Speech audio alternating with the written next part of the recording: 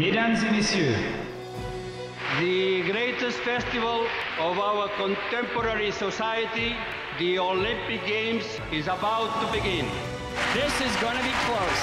Oh!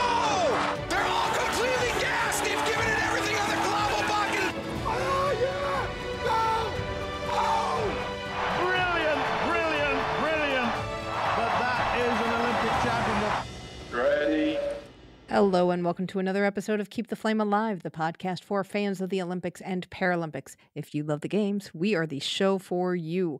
Each week, we share stories from athletes and people behind the scenes to help you have more fun watching the games. I'm your host, Jill Jaracz, joined as always by my lovely co host, Alison Brown. Alison, hello, how are you? Hello.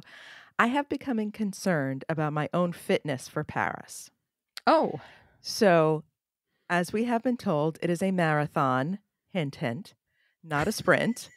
I have been trying to go out and, and do some longer walks in the extreme heat we're having right now in the Northeast. It has been 90 degrees all week, it's super humid, and I have a very lovely training partner, my adorable dog, who unfortunately now is 14 years old and loves a good walk still. She's still very spry, but not when it's 90 degrees out. So ah. she just looks at me like, Mama, I am not coming to Paris with you. I did not sign up as your training partner. I am not okay with this. Thankfully, I have not put the 25 pound backpack on her. But maybe what I should do, because she's about 14 pounds, is I should put her in the backpack and There walk around with her. So that may be the training sessions for the rest of the week. There you go. I have been working on my sleep deprivation training because we did have the world press briefing yesterday, which was an all-day affair starting at 3:30 a.m. local time. It was very very interesting. We learned a lot. So I'm very grateful to have had that experience virtually because we could not make it, it live, but there's a lot of planning to do. I will say that. Just slap your dog on your backpack and we'll go hiking and planning. Good connection there because today we are excited to be talking with author Stephen Lane, who has written the new book, Long Run to Glory The Story of the Greatest Marathon in Olympic History and the Women Who Made It Happen. This book is about the development of women's marathon as a sport, how it became included in the Olympics, and the very first Olympic marathon at LA 1984, which was an epic race. Uh, spoiler alert. Gold went to American Joan Benoit, silver to Norwegian Grete Waitz, bronze to Portugal's Rosa Mota, and fourth to another star of the sport, Norwegian Ingrid Kristiansen. So Stephen is the meet director for the Adrian Martinez Classic, a festival of distance races, and he teaches history and economics at Concord Carlisle High School in Massachusetts. Take a listen to our conversation. Stephen Lane, thank you so much for joining us. We really enjoyed this book. Thank you. It's great to be here. I obviously, like you guys, I'm a massive fan of the Olympics and find it, you know, it takes over my world when it's on. So I think it's a really cool podcast you have to try to bring it all together. So I'm Thank glad to be here. And we do love to get a chance to talk about how so many people thought women's uterus were going to fall out. So we're going to go back to the beginning as your book does, starting Yeah. with Boston Marathon. And what Mhm. surprised me was Kathrine Switzer was not the first woman to Hmm. run the Boston Marathon. Yeah, it's funny. And I don't know the full origin of that mix up. I do know that, not to engage in too much drama, but there are factions in the old women's marathon pioneering movement. There's kind of like the Bobbi Gibb faction and the Kathrine Switzer faction. And, you know, they all get along. I think they all recognize their contributions. But the best I can think is that the photographs of Switzer getting attacked by Jock Semple were so compelling and just told a story that any newspaper article about Bobbi Gibb never really could match. And so maybe that, in some people's minds, just became Switzer must have been first. And Switzer, to her credit, recently has taken pains to correct that. And she is the first woman to run with a number, which she she makes a point of claiming. But yeah, Gibb was first. And they're both such cool stories. And what I like about both stories is that there was this irresistible attraction to the idea of the marathon. And uh, Bobbi Gibbs says she saw it with her father the first time, in maybe 1964 and she's like I have to do this. These are my people. I have to be there. And so in 1966 she did it. And Switzer in her memoir tells a story of running track and I think it's really funny that she got recruited to be on the men's track team in college because they didn't have enough milers and she's running the mile and one of her teammates goes up to run Boston Marathon in the spring and comes back and she's like what? There's a, a marathon? Like she's just grabbed by it at that point. And then when she moves up to Syracuse, she transfers to Syracuse University. She starts doing runs with this guy who had run Boston, I don't know, maybe 10, 12 times. And he is, like many people, just enthralled to the Boston Marathon. It's this mythical, mystic event to him. So Switzer gets caught up in that. And so they end up running it together in 1967. And I just think you're from New England, so maybe you get it, but the Boston Marathon just has this hold on running that is hard to articulate. And I don't know, you, you either get it or you don't, but that's all I can say. And it, it definitely grabbed both of them. And I think that to me is a cool place to start the story. It's just that once the marathon gets its hooks in you, maybe it's hard to get rid of. It's more than just another race, you know?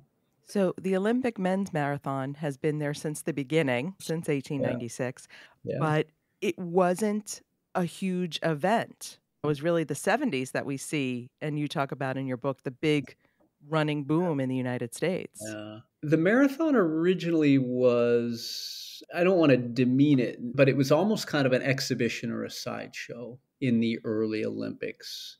It was open to a wider field. And, you know, in the early days, nobody really trained for it exactly. Road racing, generally, in the marathon in particular, were events that drew from working class athletes. And for them, the marathon was, I guess, if you're working eight hours, 10 hours, 12 hours a day doing hard manual labor, like how hard can a marathon be? So a lot of the early marathoners are like bricklayers or worked in mines or metal work or things like that, farm laborers. They were used to hard, hard work. And so the marathon was just a thing they did. And and so I think a lot because of that class issue, that class distinction, uh, the marathon didn't get the same press or the same esteem perhaps as the track events until, as you say, the 70s. And I think the running boom starts a little bit earlier. It gets going in the 60s. And I think for all kinds of reasons, more professional class, upper middle class people are drawn to running. Partly, suddenly they have more leisure time. There's a guy in the book, Paul Milvy, who talking about the 1970s said, you know, we jog while Rome burns. And I thought it was this really interesting idea that to a certain group of people in the 1970s, it felt like society was falling apart. Maybe like now, I don't know, but it felt like the United States was falling apart for all kinds of reasons. We were losing or lost the Vietnam War. The Soviets were a huge threat. The economy was terrible. There was still that kind of struggle working its way through the country from the 1960s and the protests. And so, in this sort of fractured society where I think you probably felt a tremendous loss of control, a loss of the ability to guide your own destiny, here was running and you could do it. You weren't dependent on anybody else. And there's a scholar, Cooper, who she wrote that running was a denial of helplessness for working class runners in sort of the pre war and immediate post war era. And I think the upper middle class American society started to feel that helplessness a little bit in the 70s. And so they running became their thing as well. I think, especially for women, right? That idea of a denial of helplessness, this idea that so much of the doors in society seemed closed to women. Here was this thing they could put on shoes and go run, and it gave them a sense of agency, identity, power that society seemed intent on denying to them in some ways. And, and Nina Kuscsik, one of the early marathon pioneers, started running after kind of a brutal divorce. And she said she needed something to know she mattered, that to know that she was important, and she found that in running. That's a really powerful idea. I think that that drew people to running. Maybe to no one else but yourself, but you could feel like a hero.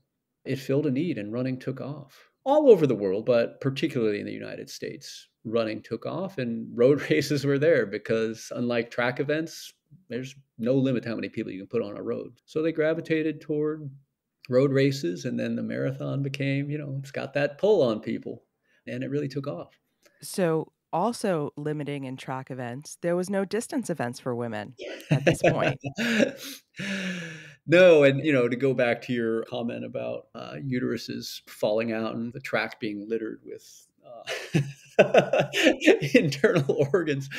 When I wrote the book, I had a really long chapter about some of the fights over medical history. And there were physicians, predominantly female physicians in Germany in the early 1900s who compiled all this evidence that women obviously were very suited for intense athletic competition and endurance competition. And, you know, of course, all their studies were discounted as obviously not objective because they were done by women.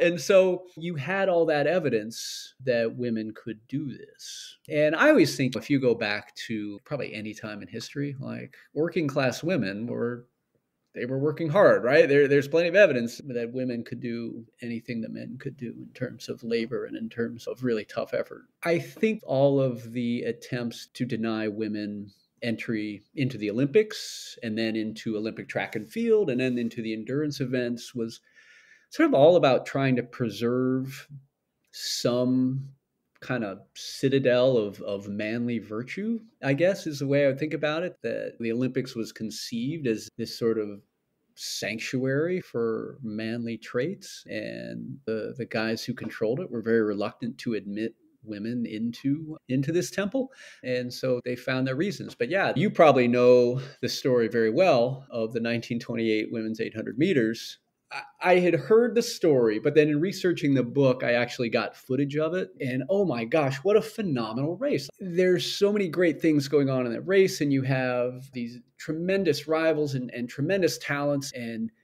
the top three women smash the old world record. And in any objective light, this women's 800 meters from 1928 would be considered one of the greatest races in history. Very rarely do you see that kind of effort and those kind of times in a distance track event at the Olympics because you've got to go through prelims and all there's all these reasons why.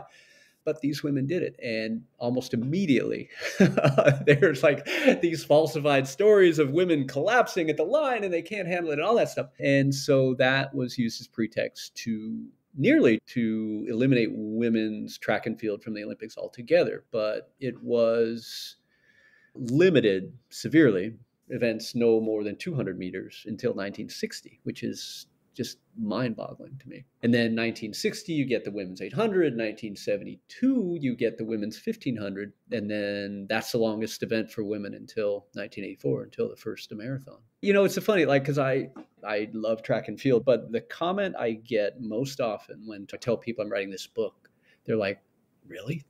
First marathon was in 1984? Like that's crazy. I'm like, yeah, it's crazy, but that's where the Olympics were. Mm. Well, also crazy is there were a couple points in the book where you talked about two different runners who ran races while pregnant. and that has suddenly become eh, not suddenly, but it has seemed like a recent phenomenon to see mm. women running while pregnant and making a big deal out of it. But it really seemed like women are just like, well, I found this thing I'm going to do and I'm going to do it. And then people will accept me eventually. Yeah, so that part you refer, I think Ingrid Kristiansen, who ran, she didn't know she's pregnant. She ran the the World Cross Country Championships while pregnant. And funny story, I didn't include in the book, but her coach, Johan Kaggestad, was mystified by how poorly she ran at World Cross Country Championships. And his wife said, maybe she's pregnant. You got to ask her. And he's like, oh no, I'm not, I'm not, I'm not touching that. But yeah, it turned out she was pregnant. And so true confession, my wife is a, she's a very good distance runner. She's a, she ran at the Olympic trials in the marathon and for her company does do you guys know the Ragnar relay? Yeah, the one that's like all night long. Yeah, yeah, yeah, yeah, yeah. It's like 48 hours or so. And the big one out here is in New Hampshire, and it ends up on the beach. And, you know, it's great. It's a great thing. Um, and she's done that with her work colleagues for many years. But she was seven months pregnant with our second child, with Emma, um, when Ragnar was coming up. And I confess, I could not help but be worried that this would be bad for the baby. And I read everything and it's, it's fine. It, there's no real risk of harm to running and exercising while pregnant and all that stuff. And the rational part of me could come to terms with that, but emotionally, I couldn't help but be worried, which I think says something about how deeply those myths have been ingrained in our society. And it's you know, it's really interesting and you gosh, you talk about now who was it Alysia Montaño who ran the Olympic trials pregnant. And I didn't think anything of it. And then I didn't realize until reading later it was it was sort of a a protest, but also she's going to get her bonus for appearing in the Olympic trial. She's got to. There's no maternity leave in her contract. So running the trials while pregnant was a way to hit her bonuses and get paid, but also to draw attention to this. That, gosh, what a powerful statement and image that was, too. The whole intersection of making, I guess the way I'd phrase it men trying to protect women in athletics is it's just it's fascinating and depressing at the same time. Going back to the 70s, I was mm-hmm. actually surprised in your book in a way how quickly the women's marathon got into the Olympics once that lobbying really mm-hmm began in earnest.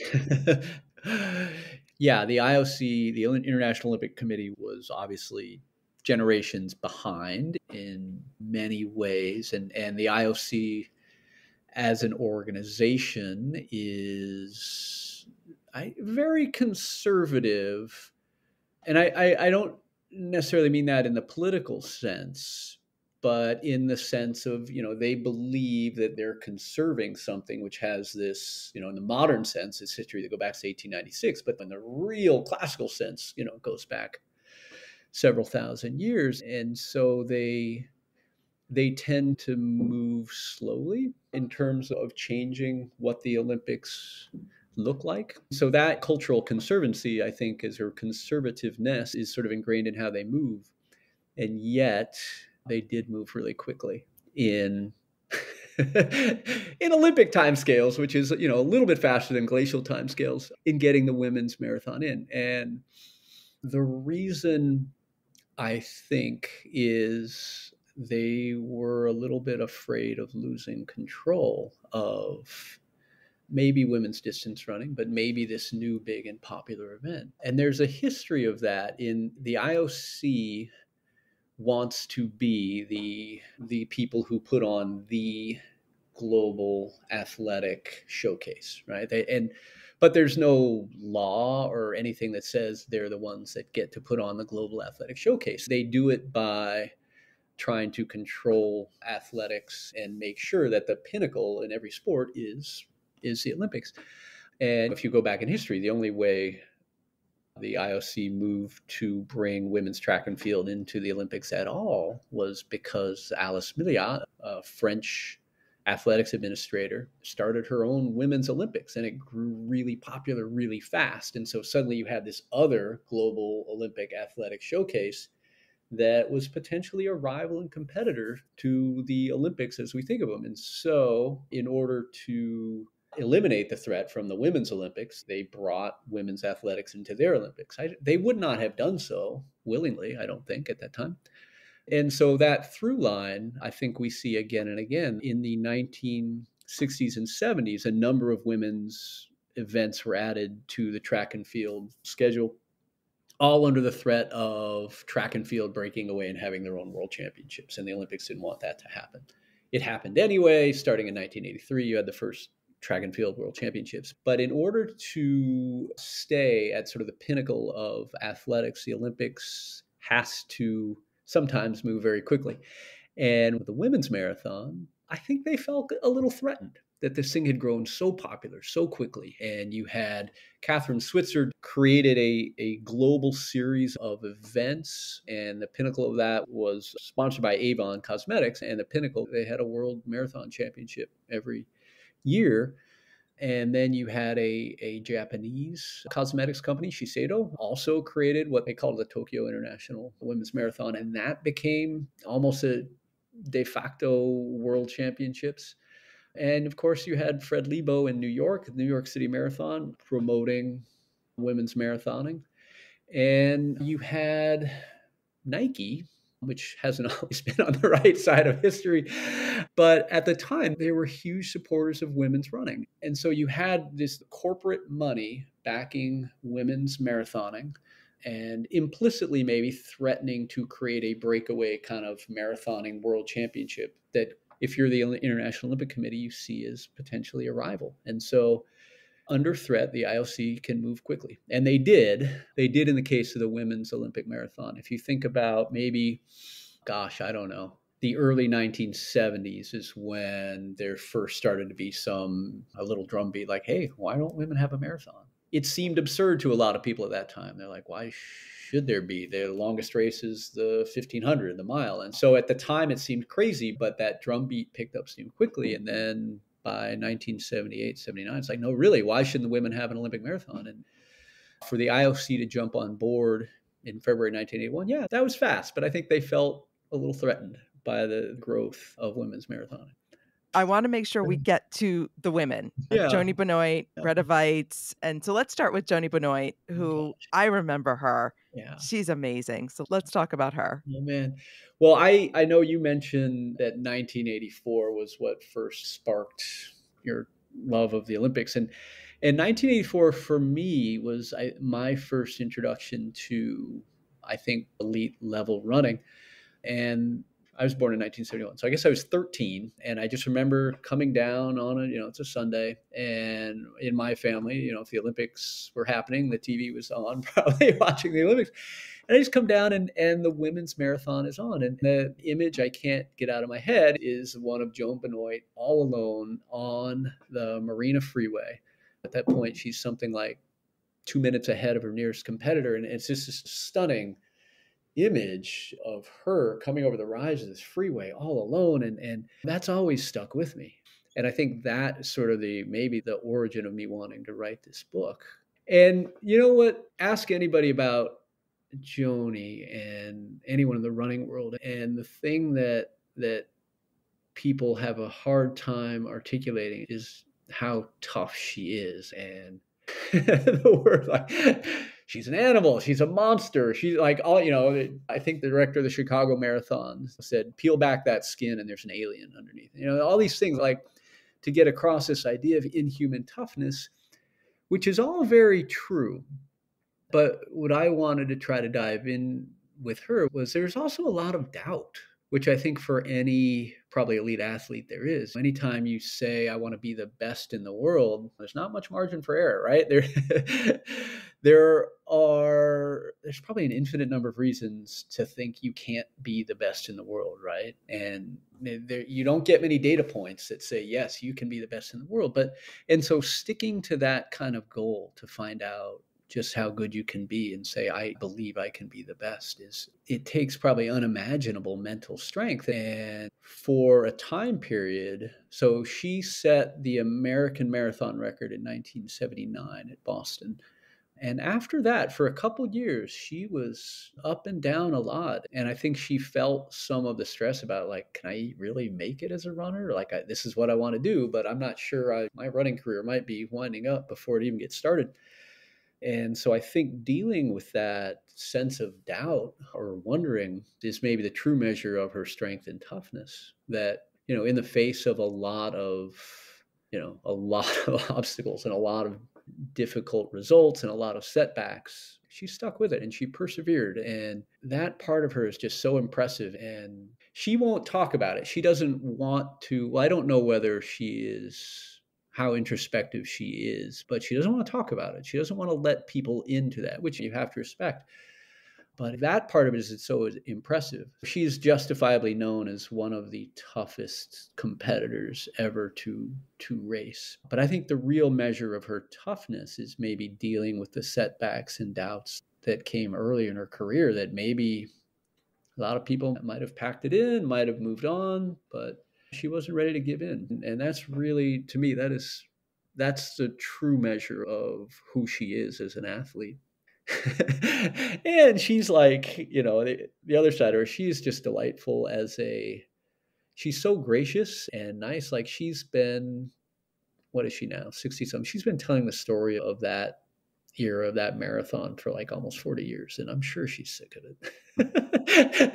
But she was nice enough to spend time with me and and talk me through a lot of her career and she's like unfailingly polite and good with people and such a cheerleader for the new era of runners right? She she doesn't really want to live in her past. She wants to celebrate what the women are doing now and i think that's wonderful. That's really cool. So. a big part of your book is her rivalry uh, with Grete Waitz. Yeah. And we don't think of Norway as a hotbed of marathon runners anymore. And mm-hmm. yet you had two of the greatest uh, women runners coming out of there. Yeah. I think that's really interesting. And I, I poked around a little bit, asking, like, why do you think? What was it just luck that you had Grete Waitz and then Ingrid Kristiansen as two of the greatest ever coming out of Norway at that time? And I, I, I couldn't find a really satisfactory answer. I think the Norwegians certainly culturally maybe are a little more equitable or progressive in terms of what they see women as capable and able to do. Although, you know, Grete Waitz, when she decided she wanted to run, she went to the sporting club in her neighborhood to join and they said well we don't accept women. So so she ended up having to go across town to another club. So they're not you know they certainly weren't perfectly equitable but i think more so than the united states and many other countries. And gosh i don't know if skiing is such a part of norwegian athletic culture especially and so maybe you had all these people with pretty impressive endurance bases anyway. And i think also, Jack Waitz Grete's husband, alluded to this, and I've seen it mentioned elsewhere that Norway in sports wants to be the best. Even though they're a small country, they want champions. And he said it's kind of ingrained in Norwegian culture that, that you don't win silver, you lose gold. And so, you know, all these things. And, and I think that culture was really difficult for Grete, but I don't know, maybe somehow all that adds up and then maybe it's just luck of the genetic lottery. you had Grete Waitz and Ingrid Kristiansen at the same time. Like uh, Grete Waitz is such a oh figure in in yeah. you've got Joan Joan Benoit and Grete Waitz and Ingrid Kristiansen all running at the same time. I mean, what a gold mine to have the first Olympic marathon with these legends. Yeah. No, I know and and it's funny that Rosa Mota who won bronze she was voted, I think this was 2010 or 2011, she was voted the greatest women's marathoner of all time. Now, I think obviously that would change now, but because, you know, Rosa was not as fast as the others, but gosh, she was so smart and so tough in terms of how she approached championship races that she was able to take down, frankly, faster rivals quite often.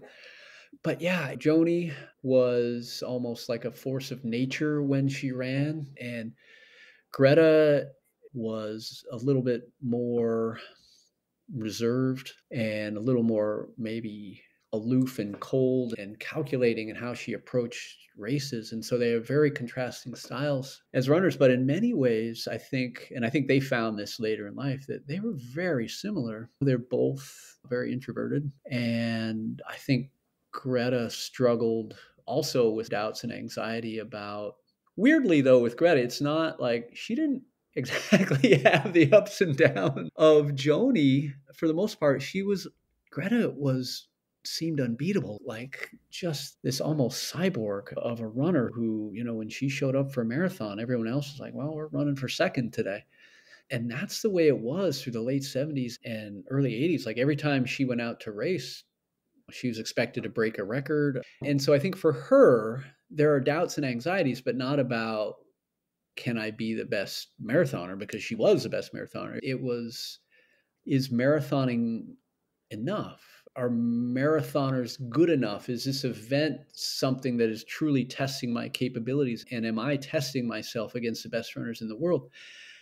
And I think until Joan Benoit developed as a rival and then Ingrid, I think for her the answer was maybe maybe I should go back to the track because that's where truly great women are. And I think until maybe 1982, 83, so for a number of years, I think Grete wondered whether she was taking the easy way out by marathoning. That seems hard. Maybe that's hard to say, but marathoning being the easy way out in any sense. But I think she really, she wanted to test herself against the best. She wanted to prove that she was among the best. And she felt that maybe the best, most accomplished athletes were still on the track.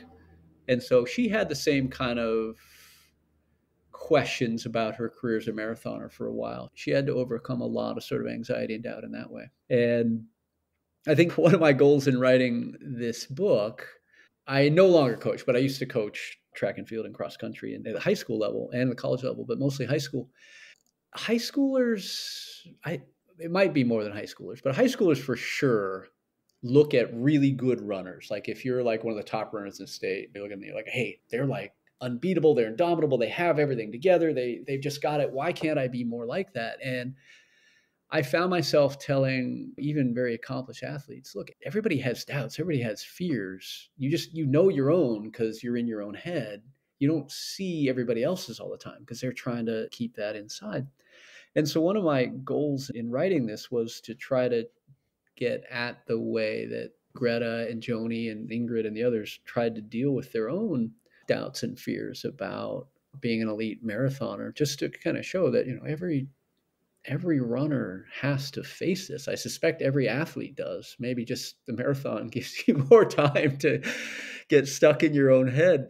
And I, you know, I was really struck by how Ingrid and Grete and Joanie, all of whom we look at today as legends, but they had to fight through some of their own mental blocks or concerns or worries to get there. And all three of them also admit to getting incredibly nervous to the point of almost not being able to function in society leading up to a marathon. Maybe nervous is the wrong word, but you're so energized and so focused. And yeah, I, I do think a little anxious about what lies ahead, that they've really, maybe the week leading up to a big marathon was a real, real struggle for them. I think that's important for runners to know that even the best in the world have to get through this, have to fight through what's in their own head and and come to terms with that that nervous energy and still be productive. So I think that I wanted to try to show that side of those runners because it's an important part of their success. They weren't just physically talented, they were mentally incredibly strong in dealing with their own fears. So I love that you gave me the segue. One of the big fears for LA was the heat. Mm, There was a lot of talk leading up to that, and it's so funny because of what happened in Tokyo and and what people are Mhm. worried about in Paris was, Yeah. is it going to be too hot to safely Yeah. run the marathon? Though these women were really preparing for that. Yeah. The gosh, the whole heat thing. You know, I, I don't know if you guys have been paying attention to this, but the women's Olympic trials, this will be the 40th anniversary of the first Olympic trials. And the women's Olympic trials for the marathon will be in Orlando, as will the men, right? I think they're both in together. And the start time is going to be like noon. And a lot of people were sort of upset by this, like you're starting something in the heat of the day in Orlando. And and I think there's some of that fear of the heat, or you know, we're going to see again in that buildup. Now it turns out Orlando the beginning of February might not be that hot. Probably won't be that hot. But that fear of the heat and what it will do to runners is yeah, it's coming back. And part of me wonders if a little bit it is again, you know, we got to protect women. I think that's less of an issue here, but I do I always do wonder about that a little bit. But I think a bigger part, you know, I can only speak to distance runners, but they tend to be control freaks. Like they like to control as much as they possibly can. And the weather obviously is something you can't. and so I think one of the maybe real strengths of Joan Benoit that maybe the others, or at least Ingrid and Grete, struggled with a little more was adaptability. Joanie, like anytime you, you see an interview with Joanie about, you know, what's your race plan, she like she cuts it off immediately. She says, I don't have a race plan. I go and race how I feel. And that's true to a point. I think she always has a has an idea in her head of how she wants the race to unfold and and a plan for what she wants to do. At least it's not, you know, super regimented, but I think she has her ideas of what she wants to do. But but I think part of the reason she says that is that she wants to be adaptable. She wants to show up on race day, figure out the conditions and figure out what we're going to do, figure out how she's feeling, get a sense of the other women, and, and go from there. So, in that way, she might have been better suited to what happened, which in LA, it turned out to not be that hot. it just turned out there, you know, there's a marine layer in the morning, there's a little bit of fog, which took a while to burn off. And it just never really got that hot. And I think Grete, especially, had planned on the heat sapping Joanie a little bit. And so I think Grete held back a little bit more than it's tough. Like hindsight's 2020. But I, I do wonder if had Grete been more prepared to just say to herself, I'm gonna show up, see what the conditions are like, and race based on that, if maybe she would have been more aggressive in going after Joanie earlier. I don't know. I don't know for sure. Ingrid has said that yeah, her coaches and trainers got too much in her head with the heat, and that and that they you know super the heat, the heat, the heat's going to come get everybody, and and so she says that that changed her mentality in the race, and and she didn't respond as she wished she had. And she doesn't blame anybody for that other than herself, but she acknowledges this is what happened. You know, we prepared for heat, period, and then it wasn't hot and she found herself unable to adapt as I now obviously she wished she did. So yeah, that was that was funny because I remember, I don't know if you remember, like the whole build up to LA was, oh my God, heat, smog, it's gonna be a disaster. And and to an extent, they got lucky the weather was mild and the winds were such that the smog blew out. And for the women, especially, it was really nice. But I think for most of the two weeks of the Olympics, they could not have asked for better conditions. Which... And also, Rosa Mota was used to running in heat and humidity, yeah. and that she ended up doing okay. Yeah, I think, God, she's so interesting because I think, yes, she felt she was a good heat runner. To go back to the Olympic trials that are upcoming, there's a lot of sort of complaints about oh a noon start and i read comments by des linden and she said two things like one i usually start my runs around 11 so this is great. This gives me another hour to sleep in and do all that. And the other thing she said is you know what? I run well in the heat so i'm psyched for this. I hope it's hot. I hope it takes some of the spring out of the young kids legs.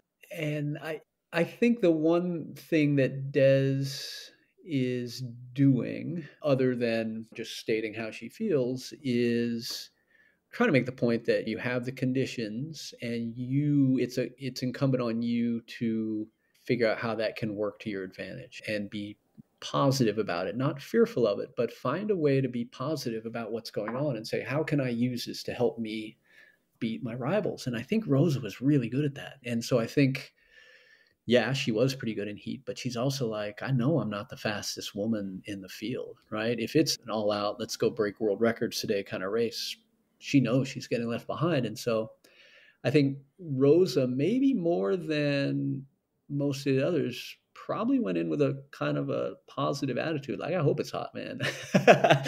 I hope this is tough.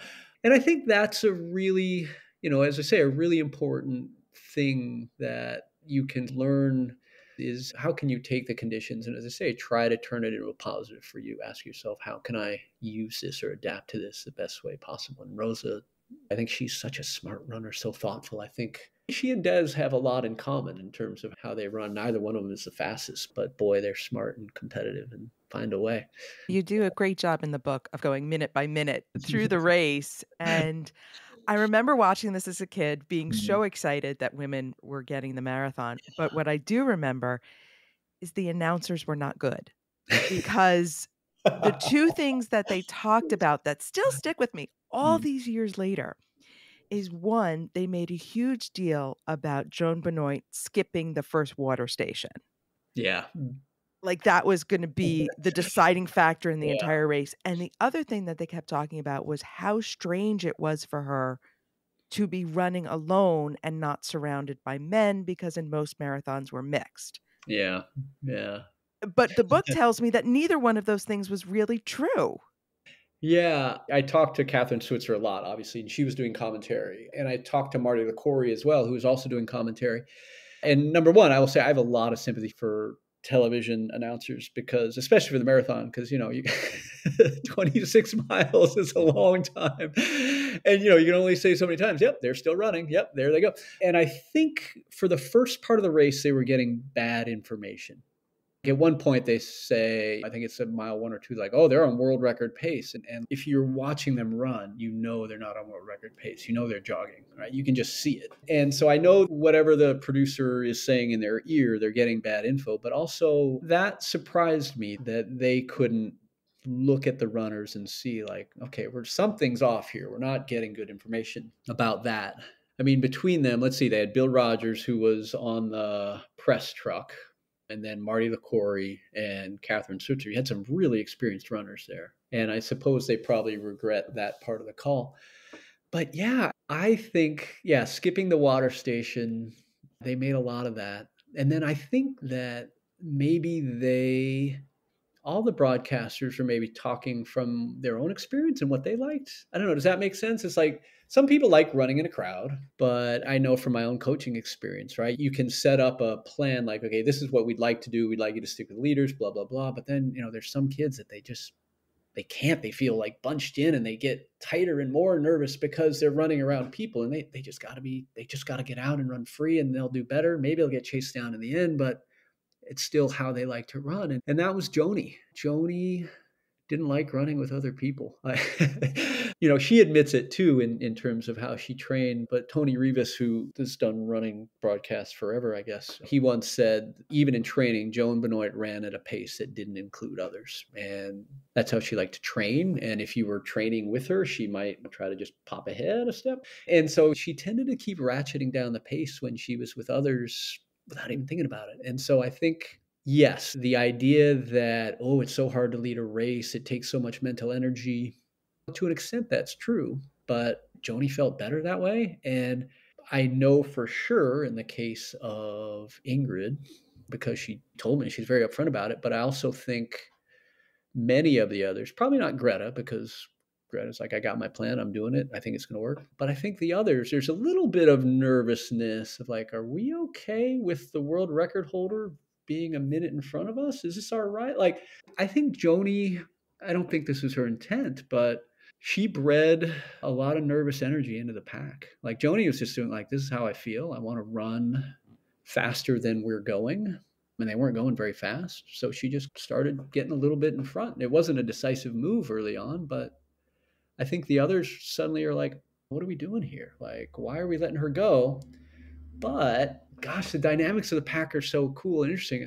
But then they're like, but that's Grete Waitz right there, and she's the best marathoner ever. And if she's not going, I'm not going to go. It, you can almost see the wheels turning in a bunch of people's heads, and they kind of glance over at Grete, like, what's she doing? So, yeah, I think there was more mental energy wasted in the pack about Joanie being in front than Joanie wasted being in front. I think that's just an interesting part of the race and maybe hard to articulate if you're doing commentary on ABC. I don't know. I have never been in a broadcast booth and I just would be terrified to try to do. But you're right. The broadcasters early on in the race had some issues in terms of how they talked about it. One of the other things I didn't realize was the fact that Joan Benoit's coming off of knee surgery and Grete Waitz had just back stuff right before the race. So n- uh, your top contenders aren't really in their prime that we know of going in. Oh, it's ridiculous. If you wrote a movie script, like a sports movie script, people are like, come on. like, okay, yeah. So Joan Benoit tweaks her knee in March. I think it's like 50 something days before the Olympic trials. And, you know, obviously, if you don't finish top three at the Olympic trials, you're not going to the Olympics. And when she tweaks her knee, she sees her doctor and they're trying to plan an approach. And I think the sensible thing to do is to be conservative because they're thinking, well, gosh, it's 50 days to the Olympic trials. If we have surgery now, can you even get back in time? You know, yeah, all the rehab and all that stuff. And so they, they hold off on surgery. And one of the interesting things I think in Joanie in her memoir talks about how she knew this injury wasn't just a little thing that would go away, you know, take a week off, have a cortisone shot, you'd be back on. She's like, I knew this was different. I knew something was wrong. But she didn't feel like she could articulate that to her doctor. She's like, this guy is a surgeon. He's operated on me before. This is his realm. And what he's saying makes sense. And then she's like, but I know me and I know this isn't the right approach, but she didn't feel like she could articulate that or challenge him in his field, which I think is really an interesting thing. But anyway, yes, yeah, so the injury lingers and lingers and she can't quite shake it and she'll get back into hard training and feel great and then one day the knee will lock up again and she can't and she can't really run and so it's not until 17 days before the olympic trials that that she has surgery which is it's like mind-blowing like at that point like the olympics should be off i've had my knees scoped twice much later than joanie and i know the technology got has gotten better as we go but gosh, 17 days after surgery, maybe I can jog a mile or two. Maybe. but, you know, what I remember is like my knee, like the range of motion wasn't there. I couldn't really bend it as much as you need to. Like, there's just no way. And it hurts, obviously. You've got four incisions into your knee. And just the thought of, you know, that pounding on that knee and those incisions for 26 miles, it's impossible. But she's Joanie. and people already knew she was tough. But to win the Olympic trials marathon 17 days after knee surgery is just, it's unbelievable. It's superhuman. And so that story, gosh, I think that two, three week period would be a great movie in its own right. Just Joanie getting through the Olympic trials. Gosh, what a story. And then, yeah, Grete wakes up the day before the race and she can't walk. Like she just like her back somehow seized up. I talked to Jack about this a lot, and he's I don't know what happened. I don't know. I they did switch rooms at one point. He's like, maybe the bed in this new room was softer. He's like, but no, it just didn't make any sense. But her back seized up. She couldn't move. Again, it's like, come on. For Grete, gosh, her first Olympics was 1972 in the 1500, and she came back in 1976, but had always felt like she hadn't had a chance to test herself against the best on a level playing field, feeling her best. And here came this other Olympic chance. Gosh, 12 years after her first Olympics. And she felt this was what she'd always been waiting for. This is what her career had been about. And suddenly it's like, it's not going to happen. And so they spend the day trying to do rehab and taking muscle relaxants, and nothing seems to improve it. Okay, she can finally start to walk, but very stiffly. And you know, it, the two I think most amazing things about this story is one, she and her team go to the the warm up track because they're going to try. Well, maybe we can just loosen up. But she literally can barely walk. But she realizes, okay, I'm around other people. Nobody can know that I'm hurt, right? Nobody can know I'm vulnerable. So somehow she like toughens up enough to be able like I can jog a mile or two and and not look like I'm hurting and somehow she does that even though she's in immense pain the entire time. But it it does not seem like there's any way she's going to be able to run a marathon. And certainly not run at full speed. So they're working and working and and finally one of her trainers makes this weird suggestion and her husband Jack he tried to articulate the meaning of her suggestion but he said the trainer was versed in what he called Viskini ways, or what he he says like wise women ways. And the nearest translation I could get was maybe like folk medicine. And this trainer said, "Well, put some heavy stuff in a backpack, put the backpack on, walk around." and she did, and it worked. Like so, I have no idea what. Maybe it was. I don't know if this will work, but we just got to try something. But it worked. Suddenly, like the spasm stopped and the tension eased, and and she started to feel a little more normal. But that's the day before the race. It's just mind blowing, you know. She's so that night she goes to bed 12 hours before uh, the biggest race of her life, and I think she's still not convinced she's going to be able to compete. But she wakes up and she doesn't hurt.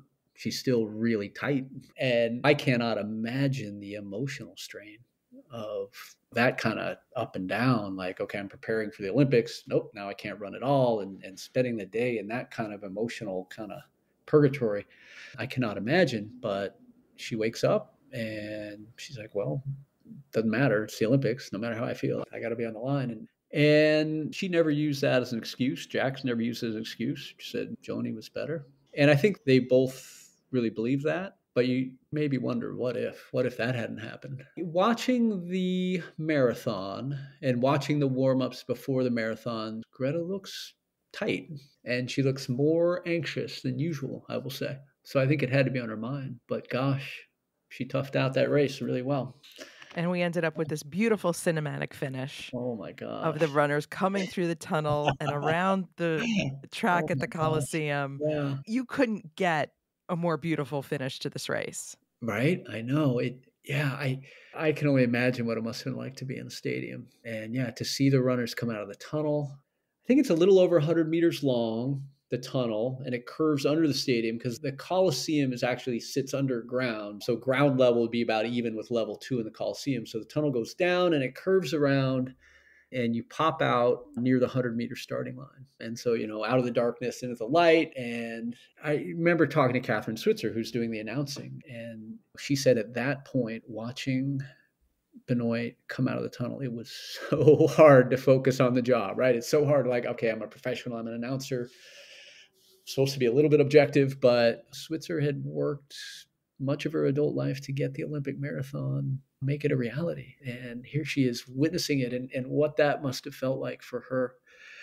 I can only imagine. And you have a, a, packed Coliseum on their feet cheering for women's marathoners. It must have been emotionally overwhelming for Switzer, and she's trying to keep her mind on the job at hand, which is calling the race. Truly an incredible moment. And, and for Benoit, she was so locked in, so focused. And I think she was very, very good at tuning everything else out she probably didn't really let herself go until she's maybe like halfway around the track. She's like, oh my God. And then she starts waving all the stuff. And it, it is, as you say, a cinematic moment. It's truly, truly an incredible triumph for Joanie, of course, but for women's running. And Grete, I think also to go from I can't run at all to I can run, but I don't know if I'll be able to finish. I don't know if the back will seize up to a silver medal. I think in ways that we don't usually see from Grete in races, she appeared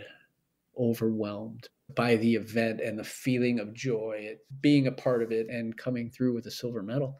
I think it was a tremendous moment for her. And then Rosa Mota coming in third. I mean, she looks like she won. It, it's incredible. And I think that's when you start to get the sense of what this meant and I wasn't even good enough to like dream about being an Olympian, but the idea of what the Olympics mean probably to every athlete in the Olympics, but then especially for a historic first race and for what that meant for women's running and for somebody like Rosa who she's running through the streets of her hometown in Portugal, guys are yelling, you know, go home and help your mama with the dishes and stuff like that. And to come from that to if the marathon had never been an Olympic event, Mota would have been, she was still the best distance runner in Portugal, but she would have been like one of the last finishers in the 1500 or the 3000 at the Olympics to being, because this event was finally open to women, to being a medalist. She truly looks like maybe all of that came out in her mind on that last lap. She's in tears, both hands over her head. She just can't believe this is how it's gone. It's, her finish is honestly one of my favorite moments of the whole race. It's just so powerful. It really is. The last thing I want to ask is can we overstate how much impact this had on women's athletics and women's sports in general? Wow. It's probably always easy to overstate it.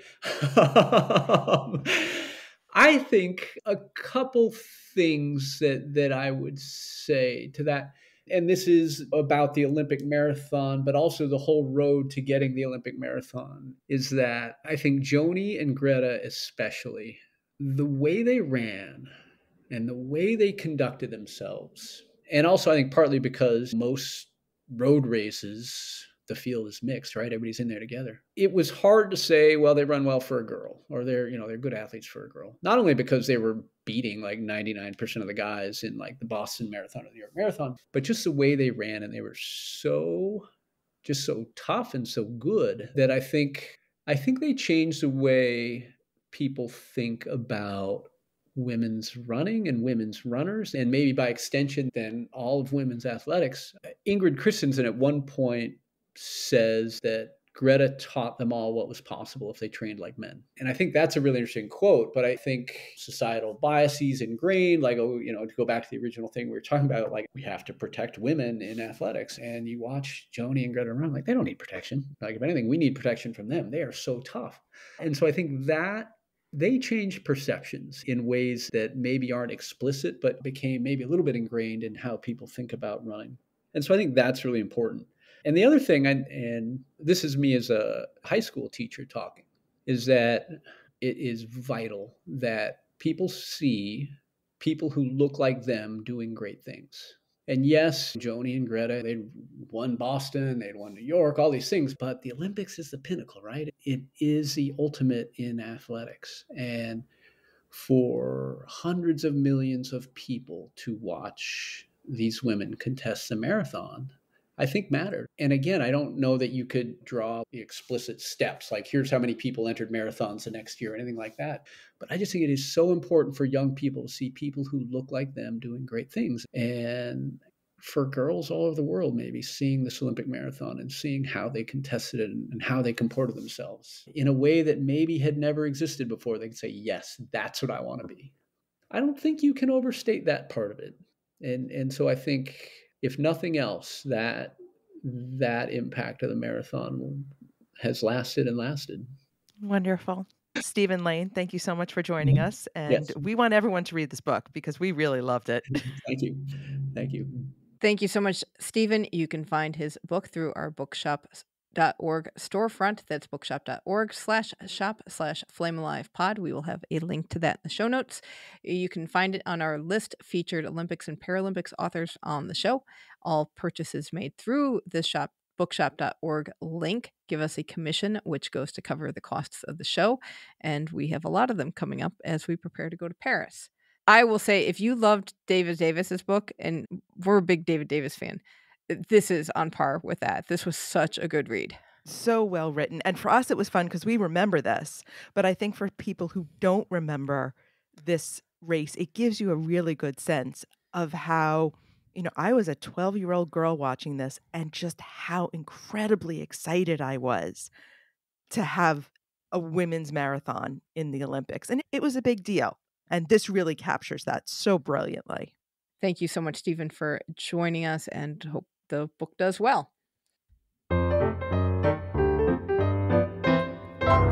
Now is the time where we have our history moment all year long. We are looking at the Seoul 1988 games as it is the 30th anniversary of those games. Alison, it is your turn for the story. What do you got for us? I got women's marathon. Whoop whoop. This was, as we've said, only the second women's marathon, and it was also quite an epic race. So after the 1984 Olympics, Joan Benoit became Joan Benoit Samuelson and quickly had two children. So she decided to skip the Olympic marathon, though she did finish third in the New York City Marathon that year. So nothing, nothing stops Joanie Benoit. Ingrid Kristiansen also chose not to compete in the marathon, but rather in the 10,000 meters instead. She did not finish this race, dropping out after seven laps with a broken foot. Grete Waitz did compete in the marathon, but she was struggling with a knee injury and dropped out at around the 18 mile mark. Aww. So the day of the race was warm and humid, but the course was mostly flat with a downhill stretch at the end. Huh. So the two top contenders were 1984 bronze medalist Rosa Mota and Australian Lisa Martin, who had the best time in the 1988 marathon season. Now, unlike in Los Angeles, the top runners stayed together for two thirds of the race, so you didn't have that early breakaway. And Rosa Mota made her move with only two and a half miles to go, pulling away from Martin and East German's Katrin Dörre. And Mota had a characteristically smart tactical run, as we talked with Stephen about. She was a really smart runner, but she needed an unexpected sprint speed towards the end of this race she sprinted the last stretch of this race because Mota did win the gold, but she was only ahead of Martin by 60 meters and about 13 Whoa. seconds, which in a marathon, That's they nothing. were in the stadium together running the track. and Dörre earned bronze less than a half a minute behind Martin. So this was about a minute slower than the 84 time, but considerably more competitive in the sense of all these women could have won up until the last little stretch of the race. Wow. Don't forget that this week is the last week to vote for our historic Olympics and Paralympics for next year. You are choosing what we will discuss. It's another Winter Games because we flip flop every year. Uh, our choices are Chamonix 1924, which will be celebrating its 100th anniversary, Sarajevo 1984, which will be celebrating its 40th anniversary, and Lillehammer 1994, which is celebrating its 30th anniversary. Go to our Facebook group, Keep the Flame Alive podcast group, to cast your vote. We're still looking at a potential Chamonix upset. Chamonix is still in the lead, but it is very, very close between Chamonix and Sarajevo, which surprises me. It seems like people want us to really go back in history. Though, with Chamonix, it's a five hour train ride from Paris. And as Sean Callahan told us last week, sounds like a lovely, lovely place.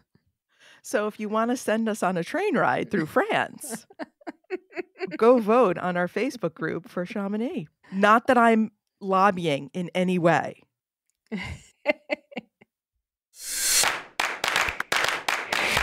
Welcome to Shuklistan. Now is the time of the show where we check in with our team, Keep the Flame Alive. These are past guests of the show and listeners who make up our citizenship of Shuklistan, our very own com- country. Starting off, Tim Sherry earned bronze medals in men's 300 meter rifle prone and open 300 meter standard rifle at the ISSF World Championships. He will compete he will be competing at the USA Shooting Rifle Olympic Trials Part 1, September 28th through October 3rd in Fort Moore, Georgia. I don't know why there needs to be a sequel because obviously think- this is a part 1 and a part 2, but good luck There- to Tim. there is, and I think it was one of those like, we don't want everything to be based on one day and if you had a bad day. So they balance it out. But I, I, this is all coming back to me after talking with Ginny Thrasher and Tim before, um, before Tokyo that that they do spread this one out, but it's almost crazy to think it's time for trials already. know. And but I know people, are qualifying. We're seeing this all over the place. The basketball teams and and individuals in surfing. So yeah, it's happening. Nordic combined competitor Annika Malacinski competed on the Summer Grand Prix circuit in Oberwiesenthal, Germany. She placed 13th in the individual competition and 10th in the mixed relay. In Oberstdorf, she got 16th in the women's individual. And in Villach, Austria, she took 13th. So next up will be the start of the winter season at the end of November. And it's going to be winter sports season before we know it, too. Alison Levine is competing for gold today while we are taping at the Boccia World Cup event in in Brazil. Despite kind of a scary accident earlier in the week, she took a fall that ended up uh, sending her to the hospital, but she is fine. I think it could be a broken foot, broken ankle situation, but she's booted up and competing with it. Well, good luck, Alison, and we hope that your ankle heals quickly. Beach volleyball player Kelly Cheng played in the AVP Pro Tour in Chicago last weekend and made it to the semifinal round before being defeated in preview. Her former partner Betsy Flint, who will soon become a member of Team Keep the Flame Alive, she also competed in Chicago and also made it to the semifinals opposite Kelly in the bracket, which was interesting. I will say I was in Chicago while the tour was going on, and I was doing an event called Bike the Drive where they shut down Lakeshore Drive and you can ride your bike on it. And I'm also training for a century ride, so I had to do 50 miles. I did my full 50 miles on the drive, but you got kicked off so that they could reopen the road again. So I got booted onto the lakefront path and was riding my bike past the beach volleyball venue. And I thought I saw Kelly warming up. And I know I, I felt Patrick from Chicagoland's disappointment. And I thought about dragging my bike over there, and I realized I have ridden 52 miles at this point. I have to ride about four more to get to where I need to go. And if I get off this bike, I will never get back on. so I thought of Kelly from a few hundred meters away. Which was probably safer for Kelly. probably. I mean, it probably. So Wheelchair fencer Ellen Geddes will be representing the U.S. at the 2023 IWAS Wheelchair Fencing World Championships. That's October 3rd through the 8th in Terni, Italy. And Waterman, the movie based on David Davis's book about Duke Kahanamoku, was nominated for a News and Documentary Emmy for Outstanding Historical Documentary. The winners will be announced on September 28th. Also in Shuklistan, we will be at the Olympian 2023 Memorabilia Show October 13th through 15th at the Hotel MDR in Marina del Rey, California. So if you are in the area, please stop on by. We would love to meet you. And you might be able to get your hands on our 2024 pin, which came in. I saw the picture. I'm so It's excited. So excited. The box was so heavy. the box is really heavy. And if you're really lucky, I will show you the pencil drawing that I sent to our designer and how he came up with this beautiful design based on my scratching. I don't know, but it was exactly what I was thinking. So stop on by. Again, that's October 13th through 15th at the Hotel MDR in Marina del Rey, California.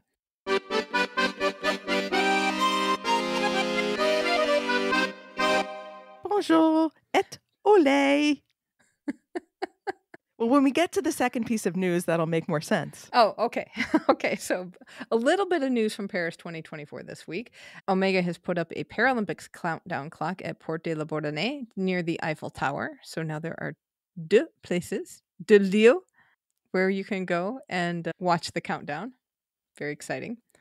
This is exciting. Big announcement from Australian Olympic Committee that the food brand Old El Paso has partnered with them to be the AOC's official meal kit partner. What does that even mean? So Old El Paso, they make all sorts of Mexican food staples, and in Australia they put together meal kits, so you can buy a box and it'll have all the stuff you need. And I, I would imagine you add the meat yourself. But we're working on finding out what the sponsorship is going to mean for you. But Old El Paso representatives had told us that this is Old El Paso's single biggest foray in sport to date. So this could be fun. I'm hopeful. Favorite Old El Paso products in Australia include Taco Spice Mix, the Hard and Soft Taco Kit, and the Stand and Stuff Hard Taco Kit slash Soft Taco Kit. Um, Stand and Stuff should be one of my B girl names. well, well, you stand and stuff hard though. No, I'm definitely Stand and Stuff Soft. oh, now I get it. Sorry. It's stand and stuff hard taco kit, stand and stuff soft taco kit. I've I had a Diet Coke today, I tell you. I am hopeful that this will include, at the very least, packaging that is Olympic in nature. But if you are a fan who likes themed food for your opening ceremonies party and you like to support the sponsors that support your teams, oh, Olay. That's right. Could be a good way to provide a, I would say, easy meal for your opening ceremonies party. So we will keep abreast of this situation. If you hear of any other sponsors doing stuff, let us know because we love to hear what's going on with sponsors and like what products you can buy. We have to get on our beat and look because some places have sponsored Team GB already. I'm looking our- for pictures. So if listeners see, go in grocery shopping and you see anything, please tag us in pictures on social media at Flame Alive Pod. Yes, definitely. The Summer Olympics and Paralympics are less than a year away, and we are hard at work getting ready to bring you the best stories you can't get anywhere else. Who else talks about hard and soft taco kits? Right? Right? It's the important things.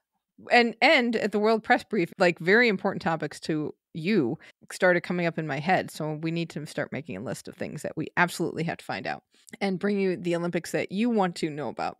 Later in the fall, we'll, we will be launching a Kickstarter program to raise money specifically to help us get to Paris 2024. Be on the lookout for that. We are working on some great supporter. We are working on some great supporter incentives for that endeavor. And in the meantime, you can become a Patreon patron and get bonus episodes about Paris 2024. Give back to your favorite Olympic and Paralympic podcast at flamealivepod.com slash support. We've got a little bit of news from the International Paralympic Committee. The IPC has published its 2022 annual report, which came in right before we went to air. So we have to dig into a little bit to see what they talk about. But this is one thing I noticed really quickly. And I realized that the Paralympics are probably the third biggest sporting event in the world. So you think it's a giant organization with a ton of money, right? But its revenues in 2022 were 24.2 million euros, which is $25.9 million. And their expenses used pretty much all of it. In comparison, the IOC's revenues in 2022 were $2.4 billion. So, tiny org trying to do a lot of stuff. And doing a lot of stuff. When you look at that number and you think about what they do, it's kind of amazing. And that's going to do it for this week. And let us know your memories from the LA 1984 marathon. And and I really want to hear from the people who were I was a figment of my parents' imagination too. So please let us know. You can connect with us on X and Instagram at Flame Alive Pod. Email us at flamealivepod at gmail.com. Call or text us at 208 352 6348. That's 208 Flame It. Be sure to join the Keep the Flame Alive podcast group on Facebook, where you can vote for our next year's historic Olympics. Don't forget about that. And you can get our weekly newsletter filled with other fun stories about this week's episode. You can sign up for that at flamealivepod.com. Next week, Shook Blythe Lawrence will be back to talk more about the world of gymnastics. I think we get into artistic gymnastics too and do a little preview here. If you missed part one of her conversation, she was on episode 300, so go back and take a listen to it. Thank you so much for listening, and until next time, keep the flame alive.